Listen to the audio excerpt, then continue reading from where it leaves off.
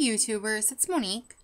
I just wanted to do a quick video today for my six month surgiversary. Um, I weighed myself today. I don't know how accurate it is because it says I lost six and a half pounds since last Tuesday. Um, but it said I was 251 pounds today. Um, it's the only record I have for the day. Uh, so I guess I have to go with it. And uh, so that means I've lost 88 pounds in the last six months. Um, tomorrow I'm going to post my 26 week update. And, uh, you know, if the scale goes up, it goes up because I'm kind of thinking six and a half pounds in one week is crazy um, at this point in the game, especially when I didn't do anything different. Like, I didn't take up running or anything, so I don't know why I would have lost that in one week. Um, victory today. I have not been able to have mayonnaise since my surgery. It makes me throw up within five minutes of eating anything with mayonnaise.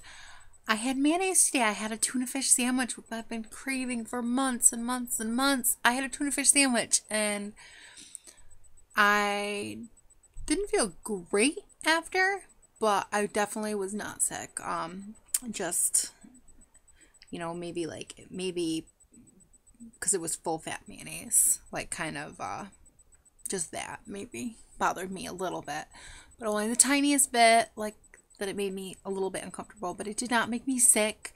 I did not throw up. It did not make me want to crawl in a fetal position and die. Um, so I'm really happy that I was able to have mayonnaise because I've had to steer away so many things that have even a little bit in it. Um, I mean, it's not good for you, so I have no intention of adding it back in on purpose, like for things, but at least things that have mayonnaise in it, I don't have to throw immediately in the garbage uh, because I screwed up my order. I might be able to, you know, wipe most of it off and move forward. Uh, so I just wanted to post that victory that I can have mayonnaise again. Yay! Um, I don't have my six month checkup for another couple weeks, beginning of April. Uh, but it's about all there is to report. Large loss this week, not counting on how accurate it is. I use the same scale I always do. Um, I just don't know why it's so off or if it is off, but it's likely that it is. Um, that is about it.